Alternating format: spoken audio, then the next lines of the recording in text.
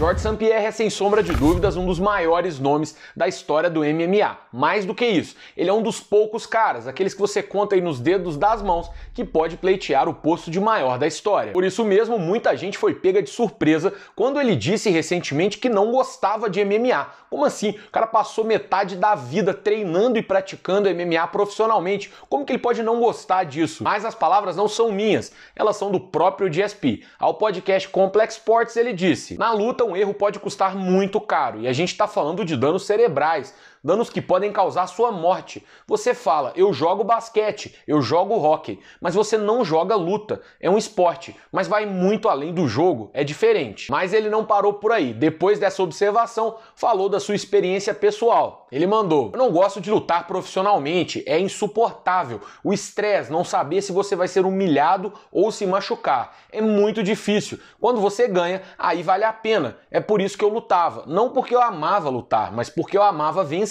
Essa história, aliás, tem muito a ver com a saga de outro super campeão do UFC, Habib Nurmagomedov, que agora está 100% oficialmente aposentado, mas que desde que anunciou sua aposentadoria lá atrás, tem deixado claro que prefere fazer qualquer coisa do que voltar ao esporte. E por mais que eu entenda como que isso pode soar estranho, eu acho que não tem nada errado com isso. A gente faz coisas que não gosta o tempo todo, a começar pelas pequenas. Nem todo mundo tem paixão por tirar o lixo para fora, lavar a louça ou arrumar a própria cama, mas isso são coisas que a gente está fazendo o tempo todo. Nem todas as atividades são carregadas de paixão, algumas são simplesmente tarefas, obrigações que a gente faz pelos mais variados motivos. Claro, eu citei antes exemplos muito básicos e pequenos do nosso dia a dia, onde é fácil perceber que o prazer não é essencial, mas há casos e casos, e para muitas pessoas isso se aplica também nas grandes coisas. Isso não quer dizer que não há pessoas que não amam o que fazem, que não têm fascínio, paixão pela atividade profissional que exercem.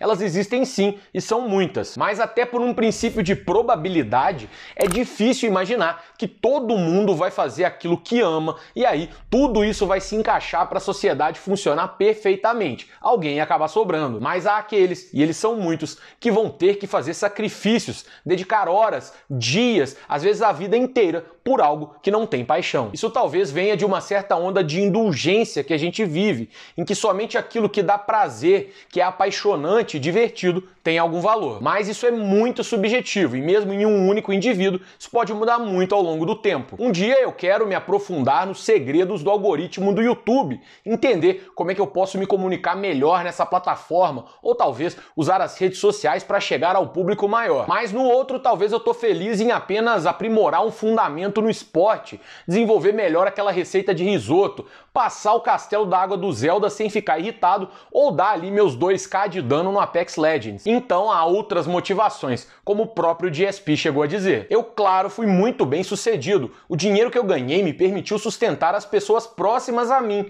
e ter liberdade e condição de fazer muito. Você treina demais, faz todos os sacrifícios, mas tem os resultados. E disso eu sempre gostei. E esse para mim é o grande X da questão, essa percepção, esse autoconhecimento e também um pouquinho aí de se permitir. O cara não ama a parada de paixão, mas é muito bom, é o que ele sabe fazer e ele identifica isso, se dedica pra caramba e atinge os seus objetivos por meio disso. E depois se diverte, sei lá, saindo com os amigos, assistindo Netflix ou fazendo esqui alpino, vida que segue. O próprio Habib já disse várias vezes que é apaixonado por futebol, que ele quer também investir e desenvolver a sua comunidade, seus amigos, sua família em Marrascala, onde mora. Essas são as suas prioridades. E veja bem, eu não quero dizer que não é possível extrair prazer algum de uma atividade pela qual você não é loucamente apaixonado. Eu não acredito também que foi isso que o GSP quis dizer, e nem que é assim que o Habib se sente. Pelo contrário, eu tenho certeza que os dois já foram felizes, já tiveram momentos em que se sentiram muito bem como atletas profissionais de MMA. E respondendo à pergunta do título, não, eu não acho acho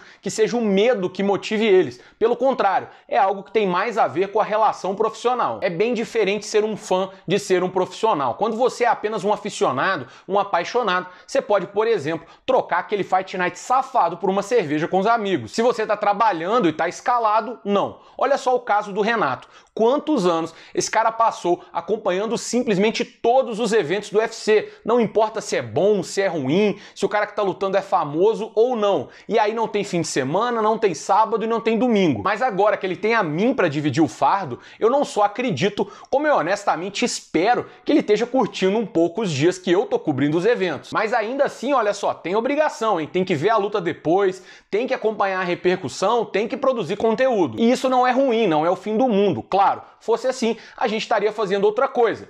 Não estamos. Assim como George St. Pierre e o Habib também não estiveram. Eles souberam identificar que eram bons naquilo, trabalharam duro para poder chegar no mais alto nível e puderam prover para si mesmos e para suas famílias por meio desse trabalho, mesmo não sendo algo que amavam de coração. Eu não sei vocês, mas eu vejo muito mérito nisso. E agora eles podem curtir as artes marciais da forma que mais gostam, como um hobby, fazendo as coisas que querem na hora e na forma que é mais conveniente. E eu sei que muita gente, inclusive vendo esse vídeo, faz aquilo que ama. E isso é ótimo e é um baita incentivo para se dar bem. Mas eu também acho que enquanto comunidade, o MMA e na real qualquer outro grupo tem muito a crescer, se souber aceitar e valorizar aqueles que não são assim e nem por isso deixam de fazer seu trabalho com excelência. E é isso, dessa forma então eu coloco um ponto final nessa resenha, mas ela continua com você aqui nos comentários. Me diz aí o que você acha dessa reflexão toda e também onde você coloca o GSP e o Habib na sua lista de maiores de todos os tempos. Se você ainda não é um wrestler All-American, clique no botão azul que fica bem embaixo aqui do vídeo e junte-se ao nosso clube de membros, além de inúmeras vantagens. Todo mês tem sorteio de camisetas exclusivas do sexto round. Se você clicar aqui em cima no card que vai aparecer, você vai acompanhar a última resenha do meu amigo Renato Rebelo, em que ele fala de Henry Cerrudo. Aliás, a título de curiosidade, na mesma entrevista em que o Cerrudo motivou essa resenha do Renato, ele fala algo que vai ao encontro do tema dessa resenha aqui. Ele diz que não se considera um lutador, mas sim um competidor, porque o esporte dele é ganhar e não o MMA. Mas o Renato não fala nada disso, ele está falando sobre a volta do Henry Cerrudo ao MMA e como ele pode acabar nos pesos penas. Clica aqui e confere, beleza? Valeu, um abraço e até mais!